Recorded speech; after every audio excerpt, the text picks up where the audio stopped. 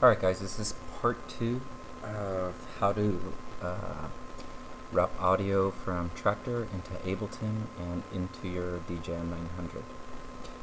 So now that we're now that we have Ableton open, what you want to do is uh, let's create a, a, new audio track. Delete uh, the MIDI uh, track. Rename uh, the first track to Deck A rename uh, audio 2, the one that you created, into deck B. Um, go to your options, prefer preferences. On your audio tab, for the driver type, choose ASIO. For your audio device, select the jack router. For your input devices, or for your input, you will, I personally use stereo, so I deselected or I disabled my mono.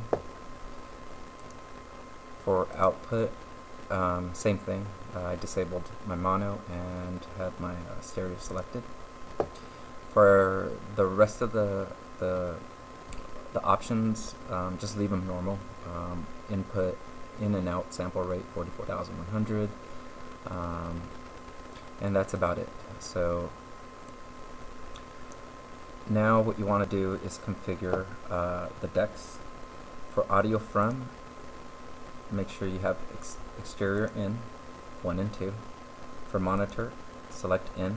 For audio 2 change that from master to um, exterior out 1 and 2 now uh, this is optional you could set up your you know uh, your left and rights for if you're going to be mixing inside of um, Ableton uh, for deck B, what we're going to do is do exterior in, change that to 3 and 4, monitor in, or monitor in, exterior out, and 3 and 4.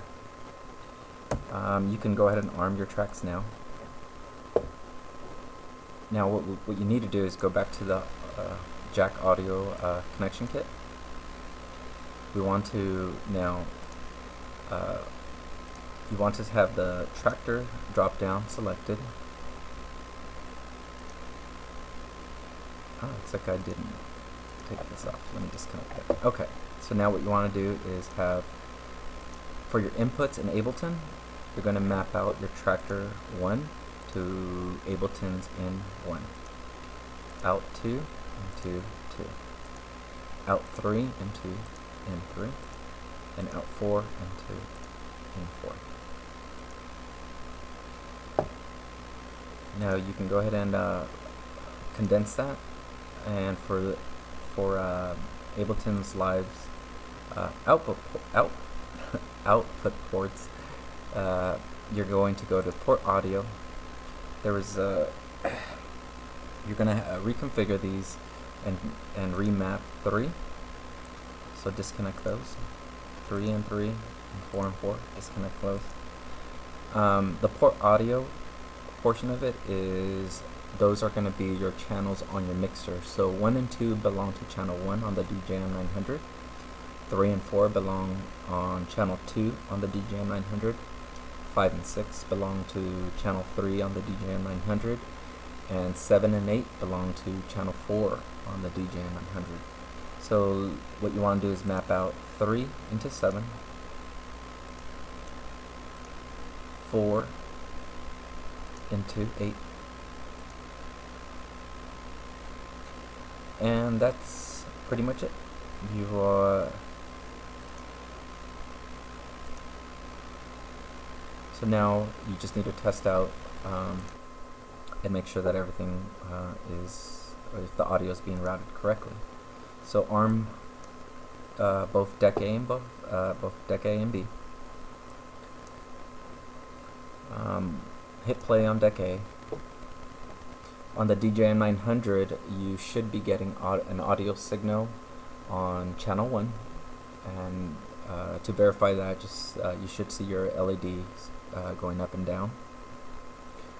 Um, in live, uh, you should see that deck A um, stereo channels are going up and down, and that means you're receiving uh, a Traktor signal or Traktor audio. start up deck B, and on the DJM 900 uh, channel 4, your LEDs should be going up and down, uh, meaning that you're getting audio signal. And in Ableton, uh, you should, for deck B, you should be seeing that you're getting uh, uh, audio signal into it. So this concludes the, the, the tutorial on how to route um, audio from Traktor into Ableton into your DJM 900 and be able to play out live. Um, some of the benefits of doing this is the fact that you can use VSTs and Ableton's um, um, effects onto your mixes. Um, and if you want to do something like that, just uh, select over here um, and then just start recording your tracks. And as you can see, I'm getting uh, uh, both channels are going into separate uh, tracks on my uh, Ableton. Uh, once again, if I if I didn't explain some things too clearly, uh, feel free to either comment and leave me an email or something that you that you need that you may need me to explain a little bit more, or if you need me to help you out uh, setting stuff like this up.